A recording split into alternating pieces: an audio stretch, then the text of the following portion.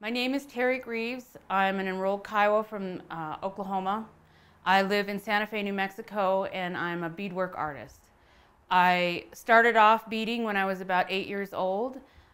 My mother owned a trading post on the Wind River Reservation in Wyoming, um, on the Shoshone side of the reservation. And uh, in that trading post, she sold beadwork from all over the United States. So I grew up in her trading post, surrounded by this amazing beadwork from, from that area and from all around. And so when I was about eight years old, I was dying to learn how to bead. So I asked at the time, it was her adopted sister, Zedora Enos, if she would show me how to do beadwork. And she showed me how to make a pair of moccasins. So the beadwork itself made a pattern, made a design, and it had a design in it.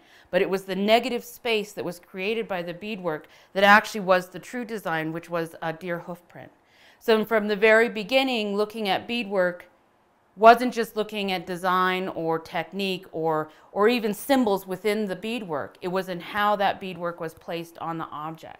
And then being a kind of a natural storyteller anyway, that it led me to doing pictorial beadwork. Then I had to think about the stories that I wanted to tell, right? My stories come, they're all personal. And personal to me is being Kiowa and, and what that means. And then I had children, and so when I had my kids, that's when it became very apparent to me that I had information within me that was given to me that I needed to transfer to my kids.